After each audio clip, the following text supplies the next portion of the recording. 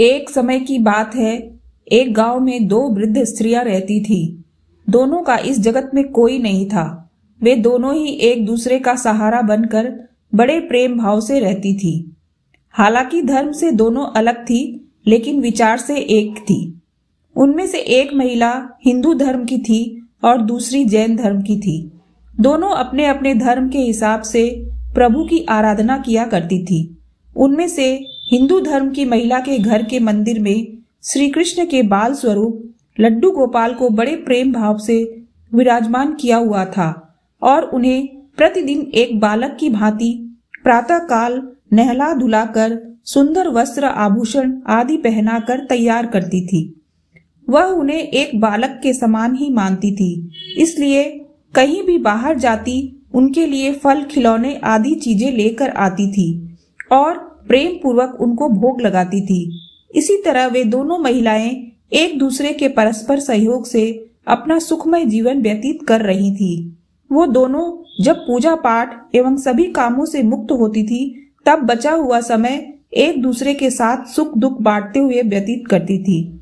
कुछ समय बीतने के बाद श्रावण मास में हिंदू महिला को तीर्थ यात्रा पर जाने का अवसर मिला।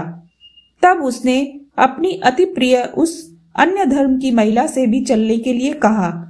चूँकि वृद्धावस्था अधिक होने के कारण वह चलने फिरने में थोड़ी असमर्थ थी, इसीलिए उसने जाने से मना कर दिया और कहा कि मुझे चलने फिरने में परेशानी होगी, इस कारण तुम्हें भी तीर्थ यात्रा में विघ्न रहेगा।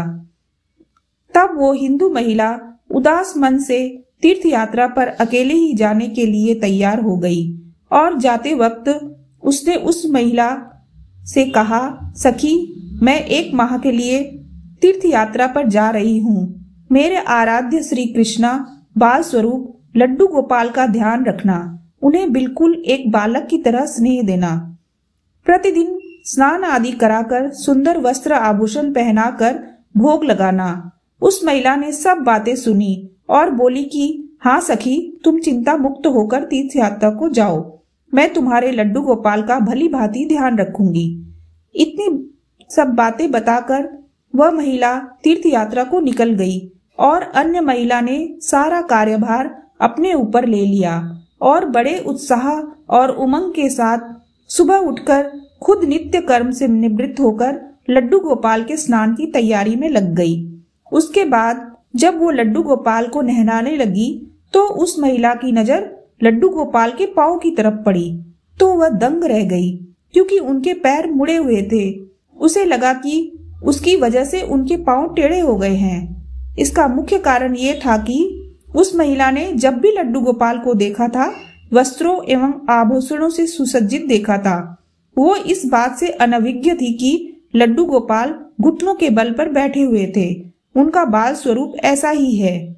वह बहुत परेशान हो गई। और सोचने लगी कि मैं अपनी सखी से क्या कहूँगी? उसने इतने विश्वास के साथ मुझे ये ज़िम्मेदारी दी थी और मैंने लड्डू गोपाल की देखभाल सही से नहीं की। ये सब सोचकर वह चिंतन में बैठी ही थी कि उसे याद आया कि उसकी सखी ने कहा था कि लड्डू गोपाल सिर्फ़ एक प्रतिमा नहीं, बल्कि जीवित होते हैं। बस फिर क्या था? उसने निश्चय किया कि वह दिन प्रतिदिन उनके पैरों की मालिश करेगी। और वह दिन में कई बार ऐसा ही करने लगी। और जैसा कि श्री कृष्ण का स्वभाव है, वो है ही इतने कृपालु दया निधान उस वृद्ध महिला की इस नादान भक्ति से वशीभूत होकर उन्होंने उस पर अपनी अपार कृपा लुटा दी। और एक दिन वह महिला रोज की भांति प्रातः काल उठकर लड्डू गोपाल को नहलाने का प्रबंध कर रही थी कि उसकी नज़र उनके पैरों पर पड़ी। उसने देखा कि उनके लड्डू गोपाल के पैर ठीक हो गए हैं। और यह सब देखकर वह वृद्ध महिला खुशी से फूली न समाई और ये सारा वृतांत सुनाने के लिए अपनी सखी का बेसब्री से इंतज़ार करने लगी। कुछ समय पश्चात जब वह हिंदू धर्म की महिला तीर्थ यात्रा पूर्ण करके वापस आई तो सबसे पहले वो अपने लड्डू गोपाल के दर्शन को लालाई थी और जैसे ही उसने लड्डू गोपाल को देखा तो आश्चर्य में पड़ गई। उसने देखा कि लड्डू गोपाल खड़े हुए थे। उसने सोचा कि शायद ये उसके लड्डू गोपाल नहीं है, और अपनी सखी के पास जाकर ये सब पूछा। तब उस अन्य धर्म की महिला ने सारा वृतांत उसे सुनाया।